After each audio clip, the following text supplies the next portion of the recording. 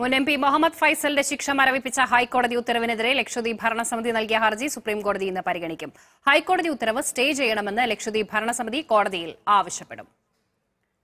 വിശദാംശങ്ങൾ സവാദ് മുഹമ്മദ് നൽകും. സവാദ് ഇക്കാര്യത്തിൽ കോടതിയിൽ ഇന്ന് എന്ത് നടക്കും? ലക്ഷദ്വീപ് ഭരണസമിതിയുടെ നിലപാട് എന്താണ്? ഇക്കാര്യത്തിൽ ഇവരുടെ വാദം അംഗീകരിച്ചാൽ തെരഞ്ഞെടുപ്പിന്റെ അടക്കം കാര്യമെന്താകും? ബിജു തീർച്ചയായും ഇന്ന് കേന്ദ്ര സർക്കാർ കോടതിയിൽ ആവശ്യപ്പെടാൻ പോകുന്നത് ഹൈക്കോടതി ഉത്തരവ്. അതായത് ഈ ശിക്ഷാവിധി സസ്പെൻഡ് ചെയ്യാനുള്ള ഹൈക്കോടതി ഉത്തരവ് സ്റ്റേ ചെയ്യണം എന്ന ഒരു ആവശ്യം തന്നെയായിരിക്കും കേന്ദ്ര സർക്കാർ ഉന്നയിക്കാൻ പോകുന്നത്.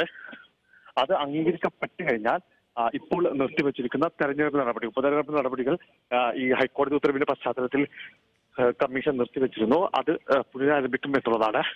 അങ്ങനെയല്ലെങ്കിൽ ഈ ഒരു നോട്ടീസ് അയക്കുക എന്ന നടപടിയിലേക്ക് മാത്രമായിരിക്കും കാര്യങ്ങൾ പോവുക. ബിജു.